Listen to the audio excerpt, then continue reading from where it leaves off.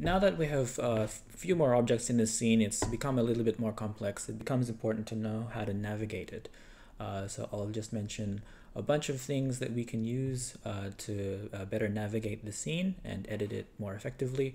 So one thing we can do is we can double click individual objects that we want to manipulate and what we what will happen is we will focus on those particular objects. Um, we can also uh, highlight and press uh, the F key and that'll just that that'll have the same effect. Uh, that's how we focus on particular objects within the scene.